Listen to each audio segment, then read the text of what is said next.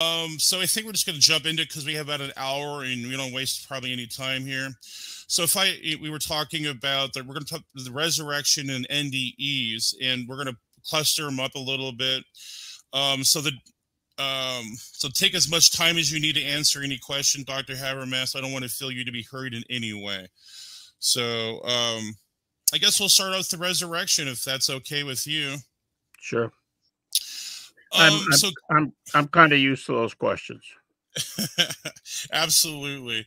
So um, could you shed light on a particular survey you conducted regarding the empty tomb a few a few years back that involved New Testament scholars ranging from 1975 to present? And is it true that did 75% of those scholars really affirm an empty tomb? Yeah, you're talking about the study that started in in uh, 19 about 1990, and it went back to 70, 75 and ahead. So at that point, when it started, it was about last 15 years. And by the time I finished it, um, an article, I had an article published in a in a uh, critical journal where I gave some of the results, and that was in 2005. So the results I gave back in 2005 covered, let's say, 30 years, and the figure of the those I surveyed uh, was about 75% positive responses to the empty tomb. And, uh, you know, you know how the surveys go 25% right. negative, but you're going to have some who don't answer it or some who say, I don't know, or whatever. But it wasn't a survey per se. It was a survey done while I, where I read their sources. Okay. Then I just finished an update on that which from 2005 um, would be uh, getting close to 20 years because the article was published in 2005, but it was written a year or two before that. So we're um, almost 20 years past that. And I just did a survey, I just finished a survey of about 250 critical scholars. And the percentage on the empty tomb has actually increased from 75% to 80%. That's not a huge increase, but wow. but it's like anything else, it's going up, not down. So uh, you know, I I was glad to see that. That is amazing. And are, are these the ones who pulled or part of the poll or how you were organizing it? Are these non-Christian like like are these like secular people or are these just predominantly Christian scholars? Okay, it's about everything you can think of. Now, let me define my audience. Number one, I didn't interview living people. Number two, I didn't take a survey. What I did was I surveyed over 250 scholars mm. according to their works.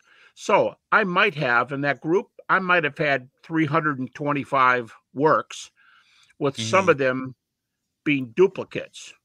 You know, for John Doe, I could have four books for him and three for somebody else.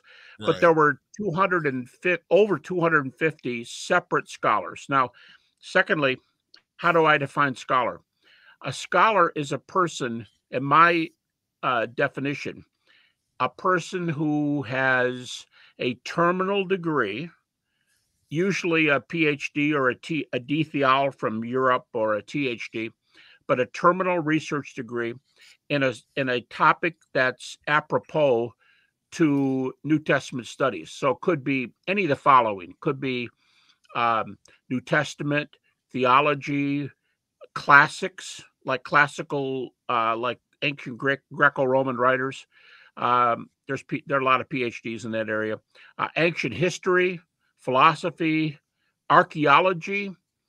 People who have terminal degrees in one of those areas and of course, the closer they are to the area, the more I'm interested. But it's without respect to what they believe.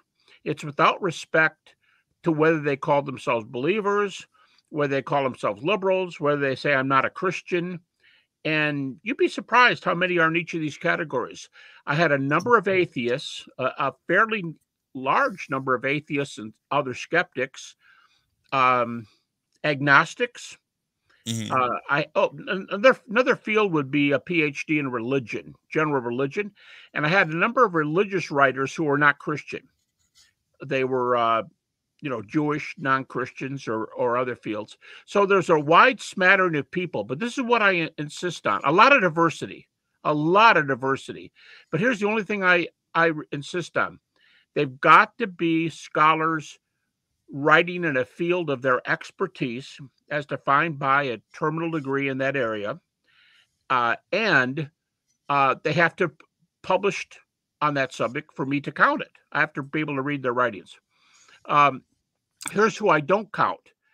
Many of the people who sound off today, and many of the people I get emails from, are overly, I, I don't know how to say it and be nice, but overly rambunctious people who want to make comments and tell me how my how my ideas are stupid and how they don't agree and they've gotten never gotten close to a university or a degree from their own bios uh, they they're not doing anything they're just kind of to me talking off the top of their head and they might be doing some research they might be doing some reading on their own but the point about going to a university seminary or a college that's accredited the point is you've got people professors and others who hold your feet to the fire, so to speak. They they're making sure you're doing the right research. We're not just surveying people. This is not survey says. This is not who do you want for a certain position in politics. Right.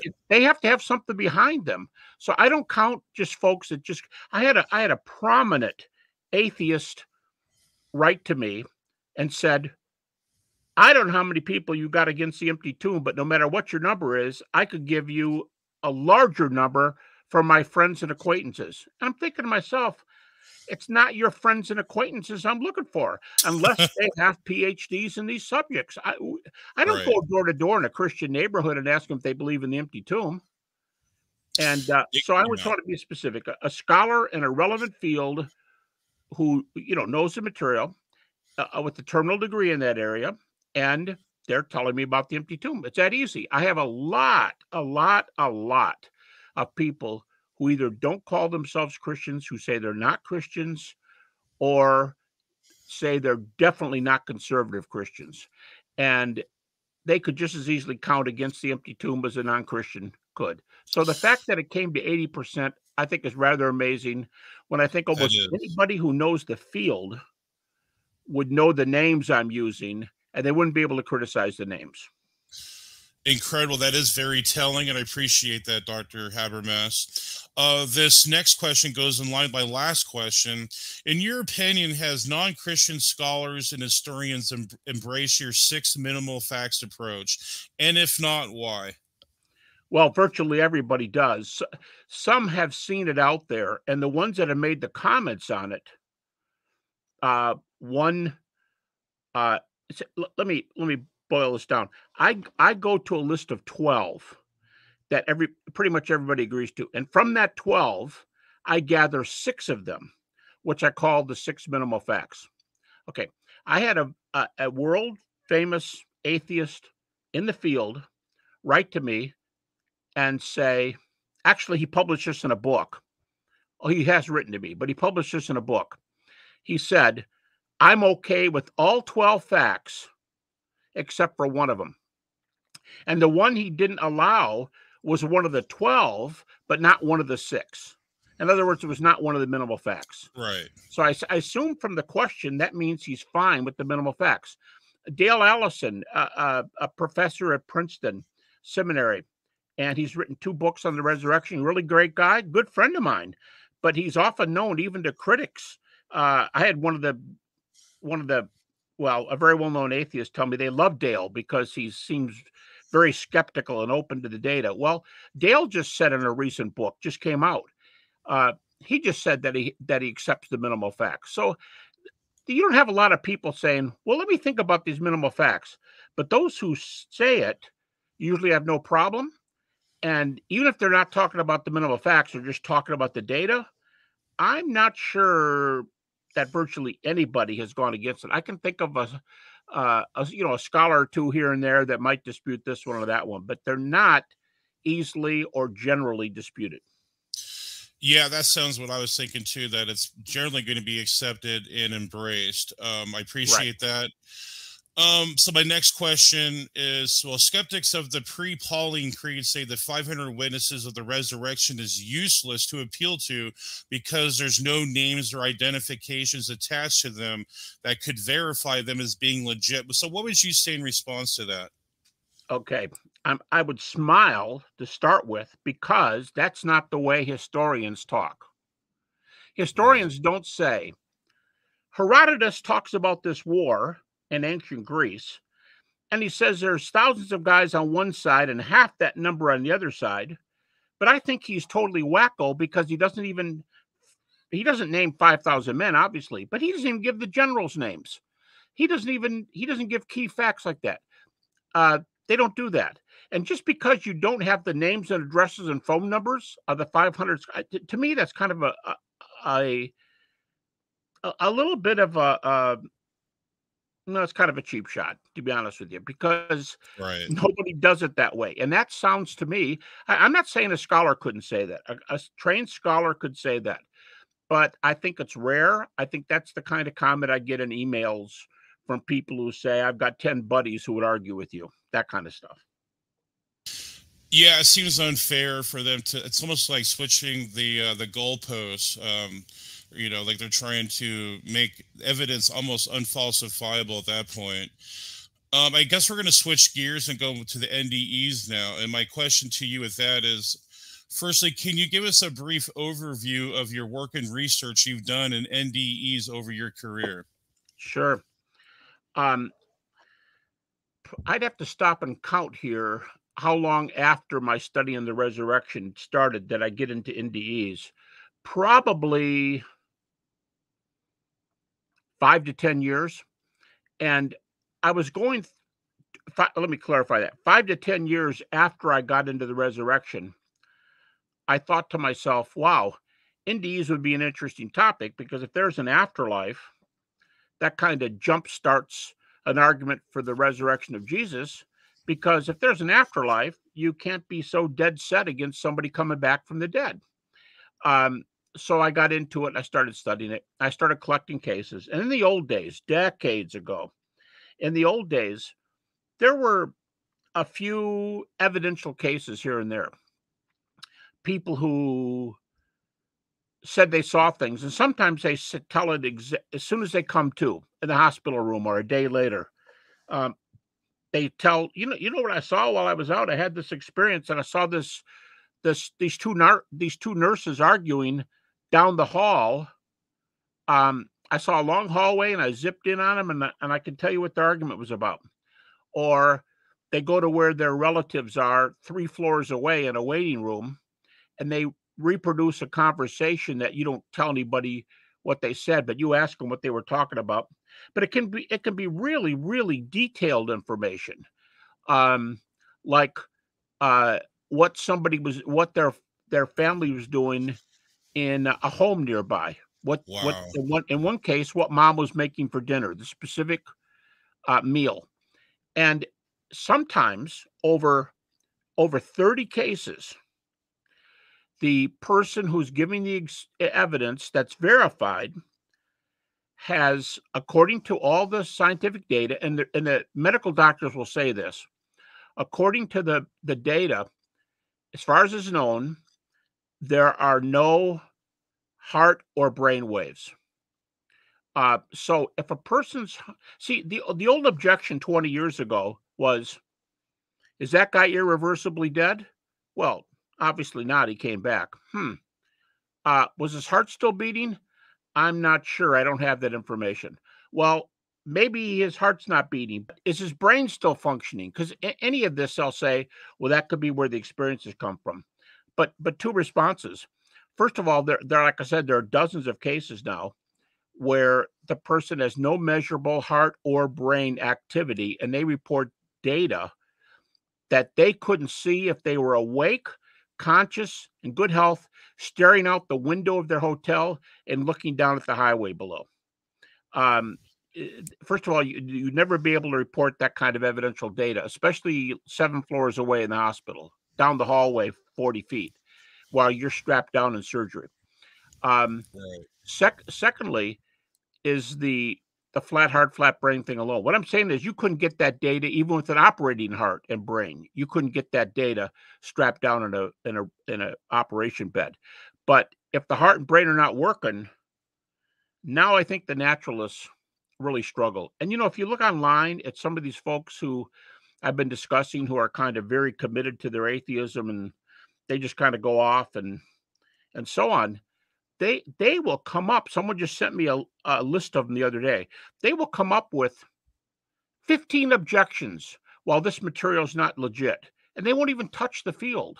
They won't even touch the research they're dealing with. But i'm telling you what um, the the data are going to make you think twice. Let, let me share one stat with you that you might find just astounding. You asked me a little while ago do atheists participate i mean not in person, but through their publications. Have I interviewed? Do, do I look at atheists when I do Empty Tomb, for example? Well, in a recent survey of atheists and agnostics, published, I don't know if he did the survey, but he publicized it by maybe a guy that I've heard called the best known skeptic in this country, not a Christian, best known skeptic in this country. And he produced the results of a of a uh, of an actual, you know, interview, interviews, uh, survey between atheists and agnostics. And in this survey, uh, just about 33%, just, just short of like a percentage point of uh, one third, atheists and agnostics believe in an afterlife. Now, yeah, that, that's astounding I'll I'll give a reason why in a minute, but that that's astounding. But I think that reflects the news of evidential NDEs and unbelievers of any any variety not knowing what to do with the data. And I've heard um, I collect these when I see them. So I have guys that I have I have publications or tapes, lectures from people who are among the best known atheists in the world. I'm thinking of two in particular, famous, famous people. Both of them don't believe in an afterlife. Both of them don't believe in God. And they both said, you know, I don't believe in an afterlife, but I hope there's a nice one for everybody. So wow. things are changing. And I think it's because of the evidence. Now, the reason I think that that's rough information for skeptics to digest is because I, the other day I was checking the writings of the famous Bertrand Russell, the British. There were four British atheists who were very well known from the 70s up to uh, about 2010. And Bertrand Russell was one of the best known ones. And Bertrand Russell said he defined a Christian. This is a pretty loose definition, but he said the two cardinal doctrines that Christians have to believe in are the existence of God and an afterlife. And then he goes on and says, and they've got to have a pretty high view of Jesus too. He, he actually said, if they don't believe in the G- deity of Jesus, at least they should think he was a really good guy and a really good ethical leader. But he said on doc, uh, doctrinal issues, God in an afterlife. And it seems to me that if atheists and agnostics, one third of them in the survey, are willing to allow an afterlife, I tell you what, if I were them, I would think I was getting too close to the fire. Yes. but the evidence seems to be rich, but it could be a double edged sword. But this is, I think, this will be great for you to maybe address this. So, people like Bruce Greyson, he's like a huge figure in NDEs, and he's yep.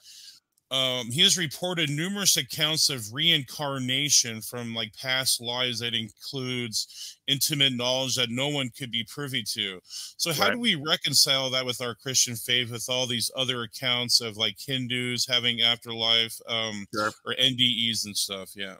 Well, I'd give two answers: one to reincarnation, and one to non-religious or non-Christian people talking about uh, experiences that they've had meeting Jesus or whatever.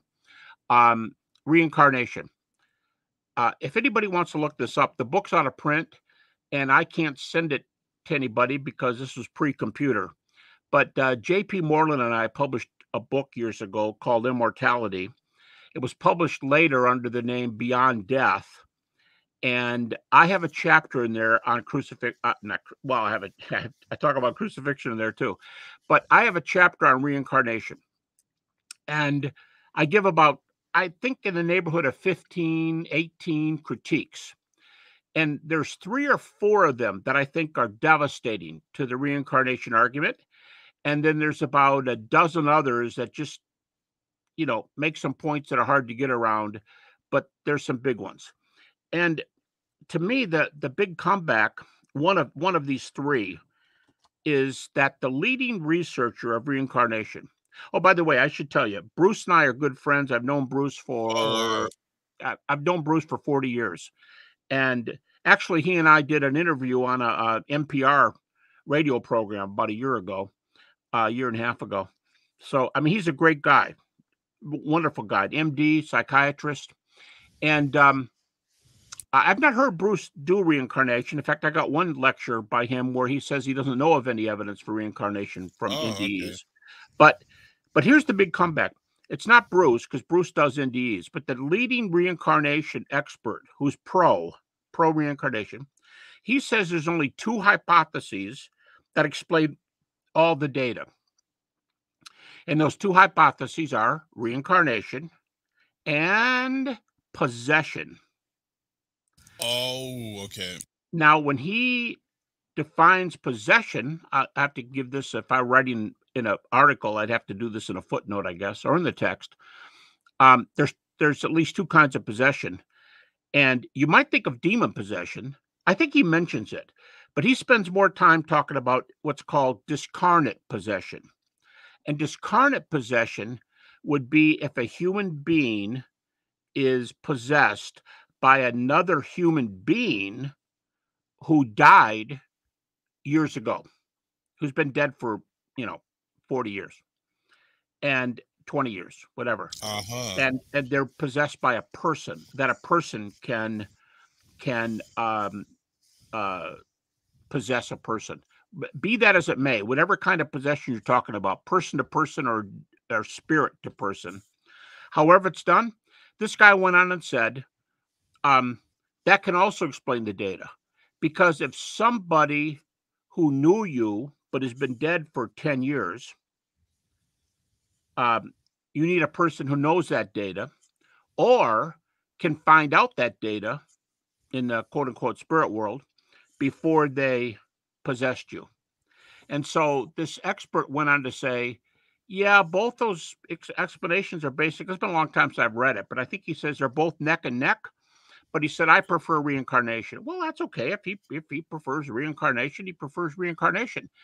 But but if I have the resurrection and the resurrection is true, and therefore I can argue to a Christian worldview based on who Jesus is and what he taught, I think I'm going to go with spirit possession you right.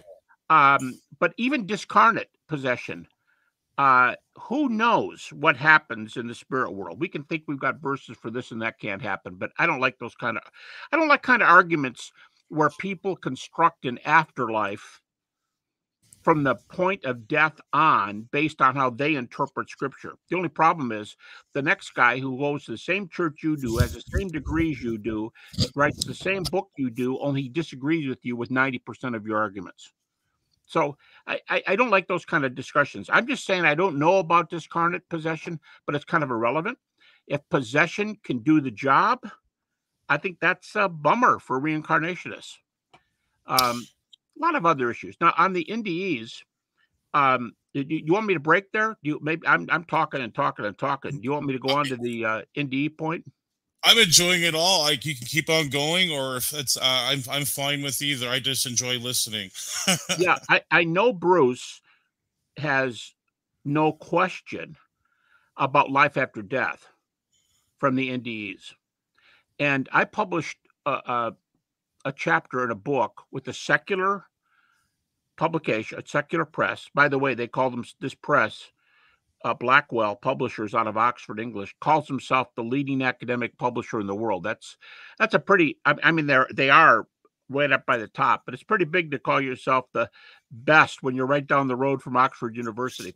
But anyway, uh, I published an essay in there. I debated a guy, and in that essay, I refer to I can't explain them all, but I refer to documents that contain reports on 300 over 300 cases, and now the number is probably way up to 400. I mean, I wrote this like I'm not even sure four or five years ago, um, and the cases are coming in like crazy.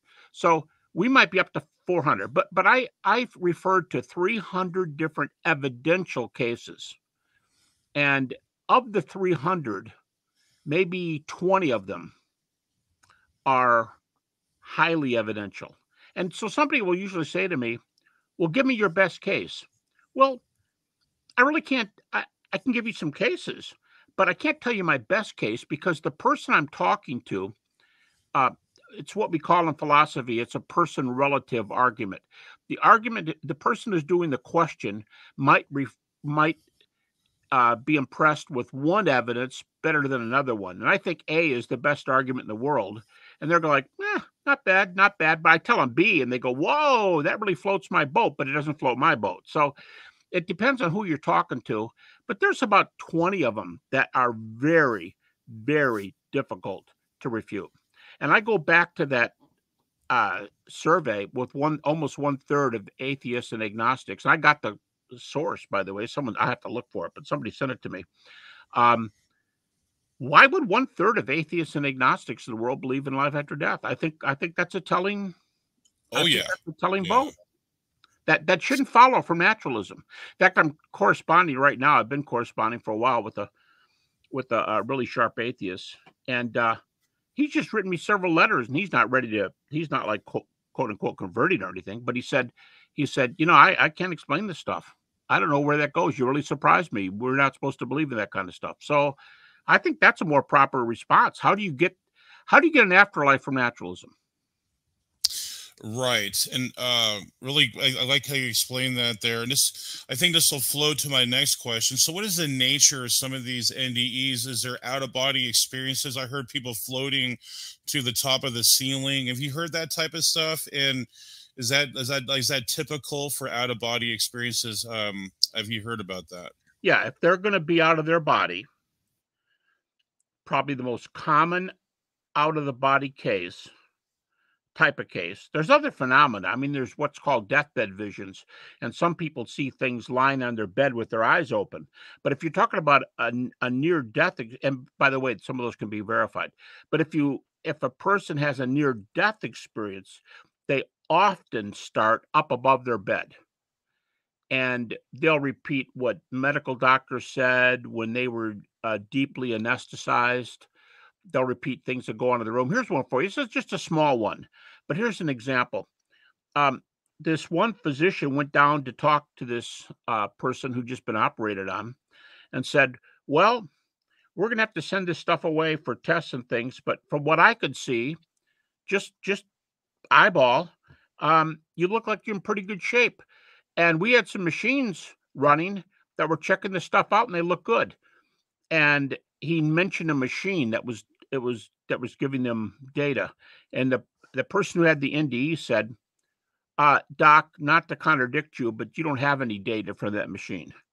And he said, the doctor said, How do you know?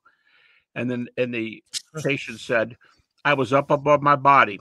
And if you go down in the room and check, unless somebody's taking care of it, during the surgery, the machine was not plugged in. Oh my gosh. You know, wow. that's a little one. I mean, that's an interesting one, but it's not a knockout. It's not one of those 20. Uh, the 20 I would pick would be the kind that, you know, you better change your atheism or agnosticism because it's not going to cut it if this thing's true. Um, there's 20 or mo- more of those, but the but the plug being on the wall, some of them are really really interesting. Uh, some of the doctors told jokes during the surgery, and and the patient uh, repeated them afterwards, but they were totally sedated. They were they had a full um you see in the data where they talk about flat brain, flat heart cases, measurably, measurably flat brain, flat heart. Um, the other criterion that's almost as important or is is when a person has a general anesthesia. But I don't like that one as much as the flat heart and flat brain, but a number of the general anesthesia people, they're not going to be reporting things like that. A person who's lightly sedated might hear something in the room. Um, and anybody can hear somebody say something later. They can say, you know what was told while you were out, someone told a joke. That can happen. But not data that are going on at that same time, which of which there's a lot of cases where they see something else uh, a fair ways away while they're out. And it only happened during the surgery by definition. If I told you the examples, you you see what I mean. But these ex- experiences could only happen during the surgery. When the surgery is over, this situation no longer exists um, 100 yards away. And because of the nature of it. And they tell people what happened and they they ask the people involved and don't tell them what the person said just say what were you doing then? I was doing this. Exactly what the person said. Now that should not be repeated accurately in the presence of as far as we know absence of brain and heart information. To me that's that's too close to the beginning stages of an afterlife I agree completely.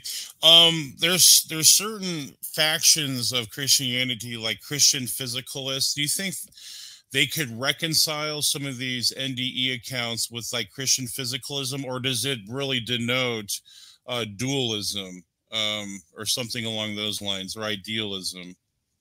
Yeah, great question.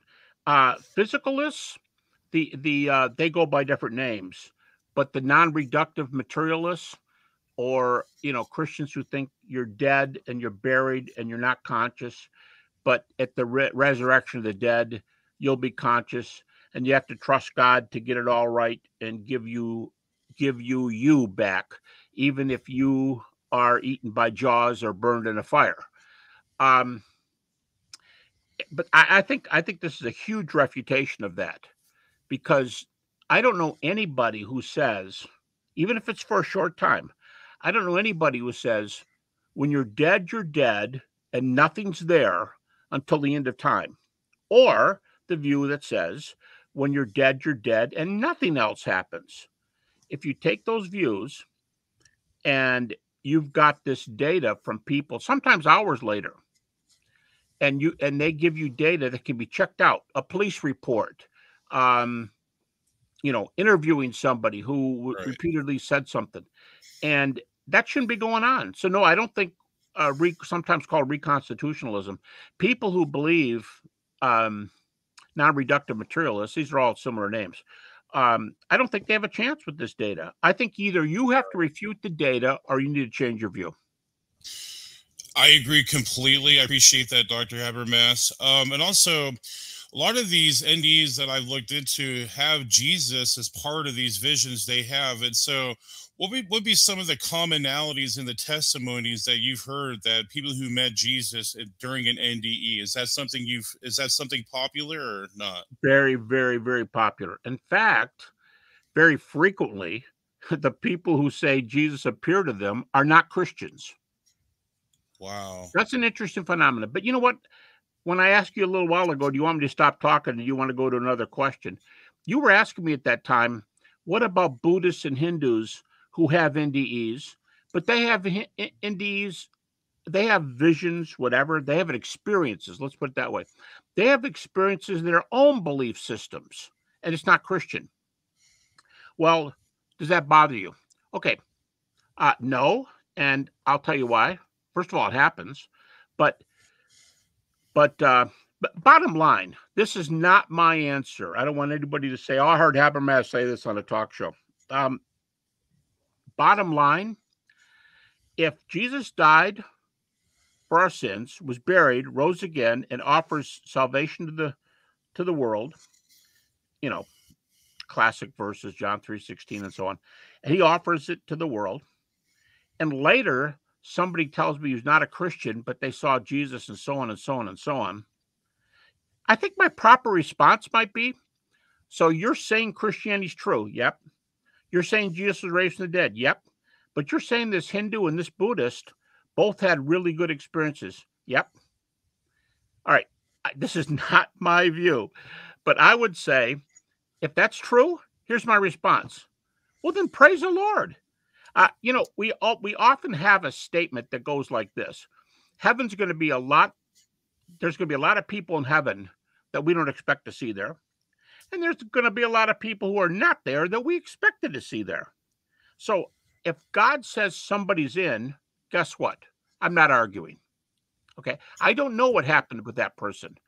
Uh, there's a famous case of a, a, a philosopher, an Oxford philosopher, who had a near-death experience and there are a number of these sorts of things.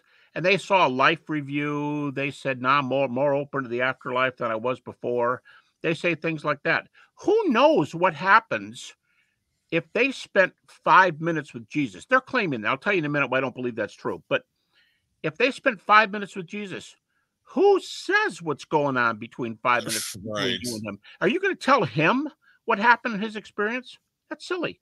So what I'm saying is, bottom line if you can't refute the resurrection and you can't refute NDEs, I think Christian worldview looks pretty good. God can do what he wants with everybody else. But I that's not, agree. That's not, I'm sorry. I, I completely agree with you. Yeah. Uh, I mean, I'm just saying that's possible. That's not my view. I'm just saying the worst it gets is I'm not sure about these other folks and what happened, but that's between them and the Lord. Okay. But here's my my full answer whenever you give evidential NDE cases, the evidence is almost without exception about something in this world. The examples I used were what your relatives were doing in the waiting room three floors, seven floors away. Uh, one case was what relatives did when they went down to get a bite to eat, many floors and across the big hospital. Um, what the nurses were talking about down the hallway, the machine that was unplugged, uh, who cracked the joke during the surgery. Um, those there, there are this worldly kind of things, things you can report. Obviously, because you if you're going to check them out, you got to report them. Now, when someone says, I was with Jesus for five minutes, and you know they were out for 15 minutes, I mean, I'm listening. Go ahead. So Yes, I was with Jesus for five minutes and he told me I was fine and I'm coming back. Okay, here's my problem. None of those testimony cases are reliable.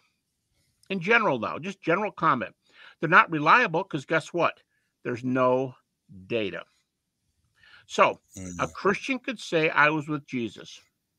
A Jewish individual could say, an angel appeared to me and I was in perfect peace. Um, a Muslim a Buddhist, a Hindu could have their own visions. I can listen. I could say, wow, I haven't heard one like that before. But I don't go ahead and say, wow, everything's true because there's no backup. Now, someone goes, well, I'll bet you like the hell cases because you're a Christian. Actually, I don't. I don't right. like, I, I shouldn't say hell cases. Let's call them hell testimonies there are about 20, 18 to 20% of people in that last survey I saw, 18 to 20% of NDEers have hellish experiences. I don't believe those either. What if it's because you were raised in the Bible Belt and you had preaching jammed down your throat when you were a little kid and you've always thought you were a bad person and you pictured yourself being in hell?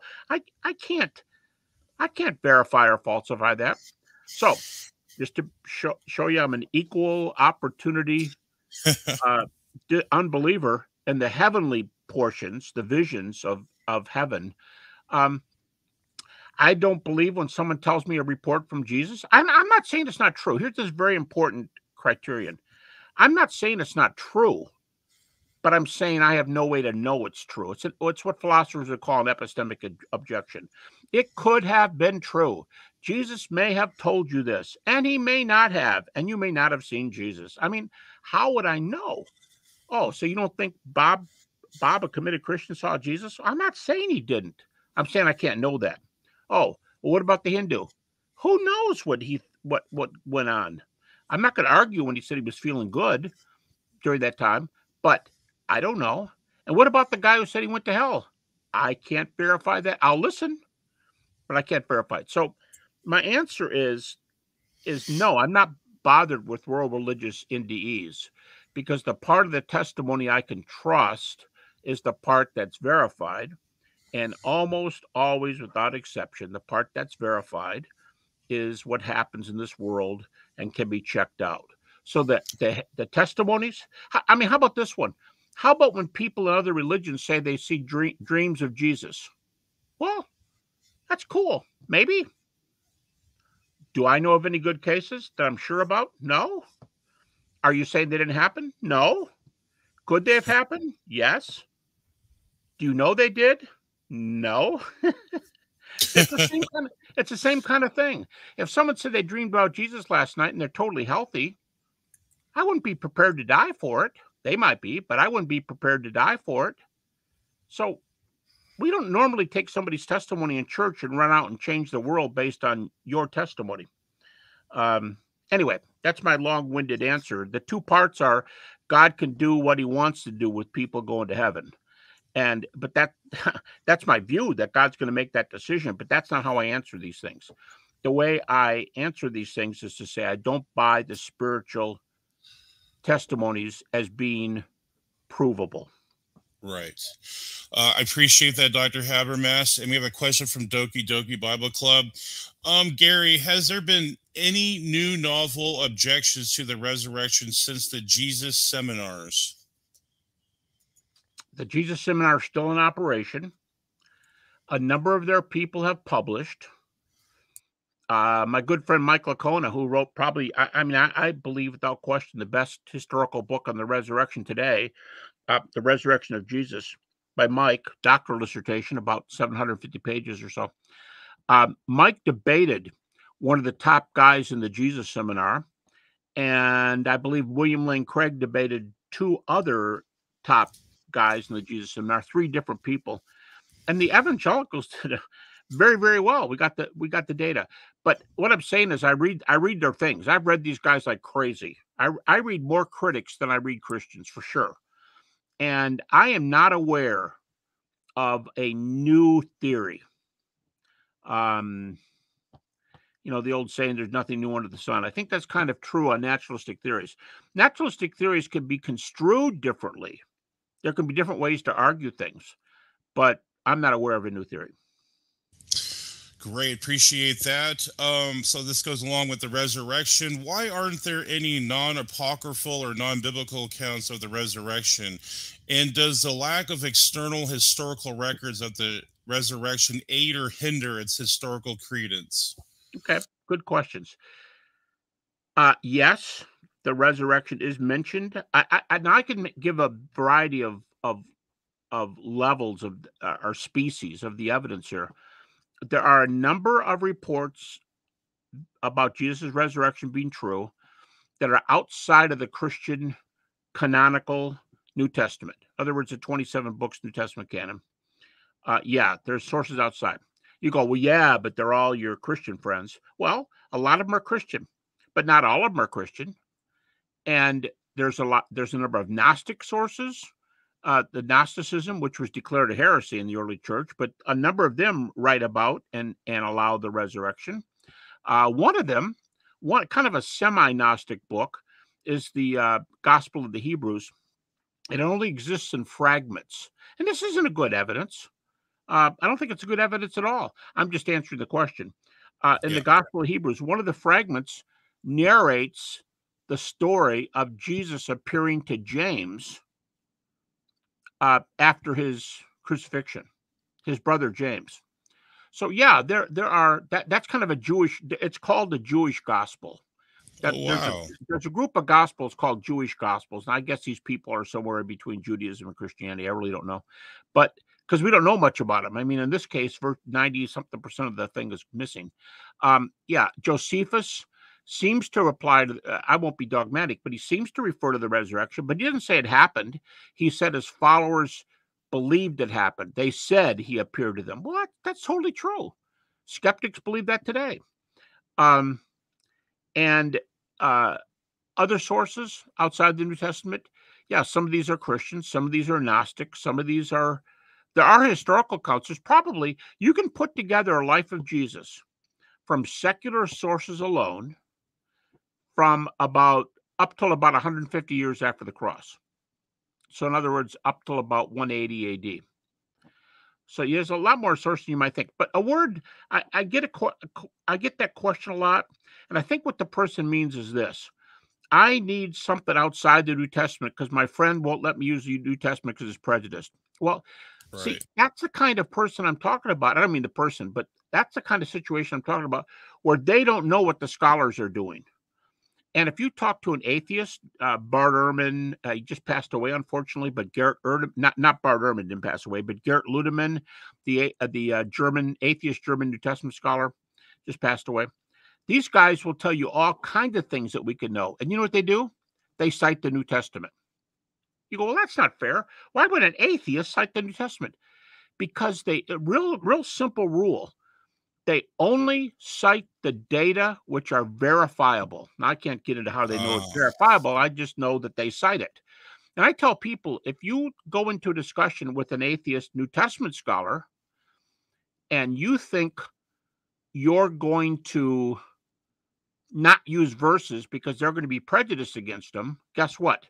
They will use many more verses than you will use. It's like the spider.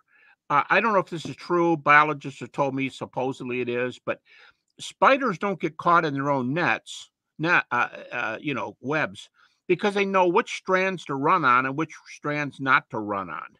Um, it's like that. Scholars know which verses to use and which ones not to use. And you can put together an historical Jesus. And Bart Ehrman, for example, will tell you that Paul is our number one source, and he's not the only one, many, many, many critical scholars will tell you that Paul is our number one source on Jesus. So what if he wrote these books and he was a Christian? Uh, there are ways to check to see if his reports are true. And so when a guy tells me you can't use the New Testament because it's prejudice, that tells me that most likely, number A, they don't know the data. B, they don't know what the critical atheist scholars are saying or other agnostic skeptics. They don't know what they're saying. And, and three, I get a feeling they say that because they don't want you lose, using it because you're going to lose. They're going to use lose the discussion if you can use the New Testament. But now go back and ask why all the atheist New, uh, New Testament professors are Jewish New Testament professors, like oh, uh, that these two are, are deceased, but two major ones in, in the last uh, couple decades uh, Geza Vermes, an Oxford Jewish historian, and uh, Pinchas Lapide, a Jewish scholar with a get this a Jewish scholar with a PhD in New Testament from a German university.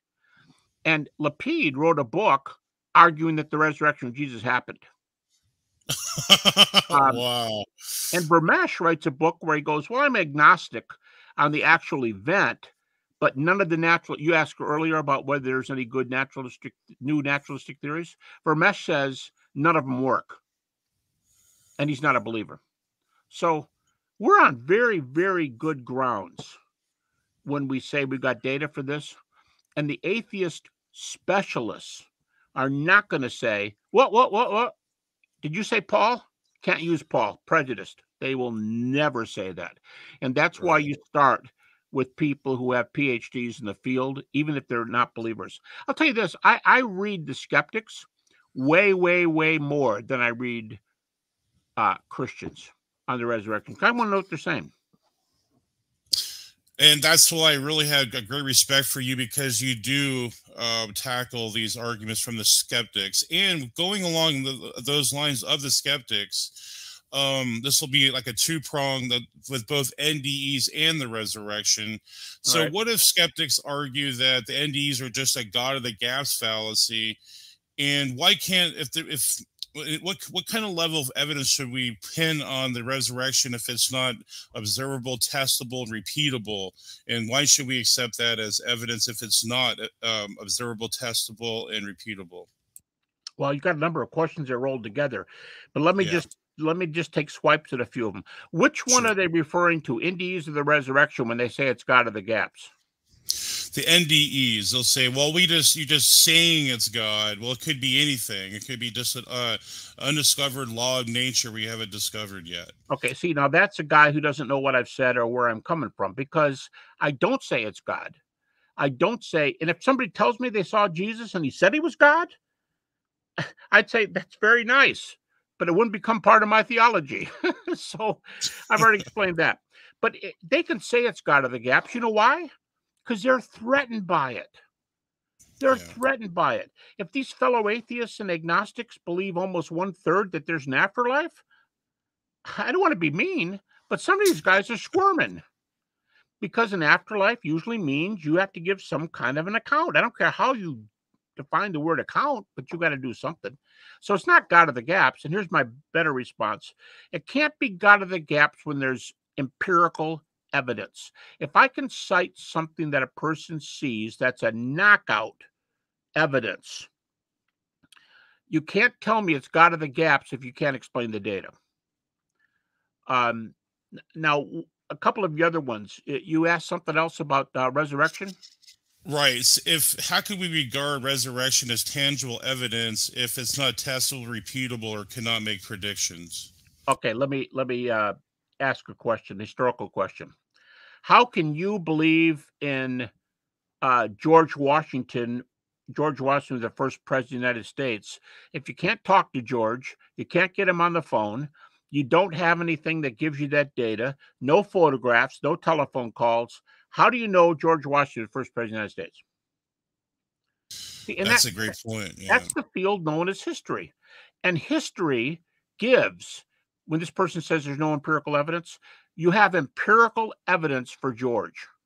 You go, well, how are you defining empirical? Empirical is testimonial evidence that can be verified. Historical evidence is admissible in a court of law. And I go, what would that evidence look like? I don't even know if these things exist, but did his wife write a diary that we know was hers? Did he write a diary?